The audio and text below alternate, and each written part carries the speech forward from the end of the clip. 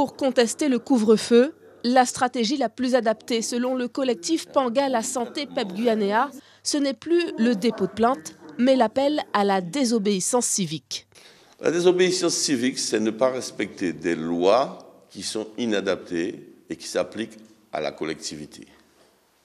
Voilà. Donc concrètement, vous dites aux gens circulez après 19h Voilà, on dit aux gens prenez, prenez vos responsabilités, il faut qu'à un moment donné, on, réagisse à ces mesures qui sont inappropriées.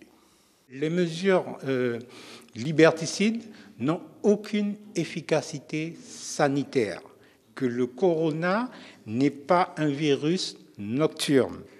Par contre, si vous privez un peuple pendant dix mois d'activités sociales, culturelles, sportives, syndicales, politiques, eh vous entraînez une instabilité psychique individuelle qui entraîne un certain nombre de désordres sociaux. C'est eux-mêmes qui nous le disent. Les violences domestiques et les violences conjugales ont augmenté suite à ces périodes de confinement et de couvre-feu.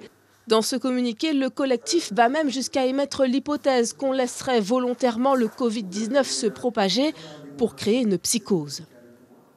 Ce qui préoccupe les autorités coloniales et le système capitaliste mondial, c'est de vendre son vaccin contre la Covid-19.